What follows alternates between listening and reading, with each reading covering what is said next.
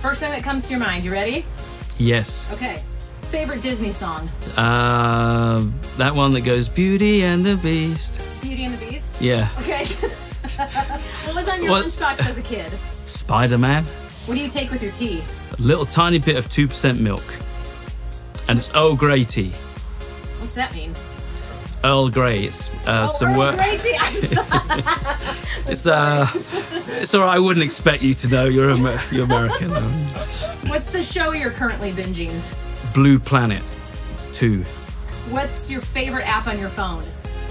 It's called Reply S- ASAP. You put it on your teenagers' phones, and if they don't reply to your texts when they're out, within uh, like five minutes, it shuts their phone down until they reply to you. Downloading it.